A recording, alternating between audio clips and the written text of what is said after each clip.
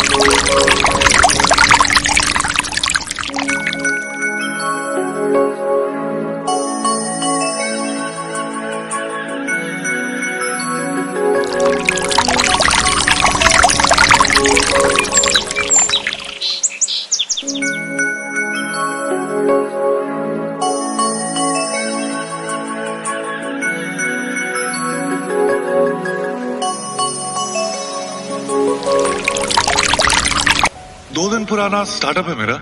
Office बड़ा नहीं है लेकिन सपने बहुत बड़े हैं। हिस्सेदारी ज़रूर मिलेगी। बिज़नेस अच्छा हुआ तो साथ में आसमान छुएँगे। पता नहीं कहाँ चले जाते हो तुम बार बार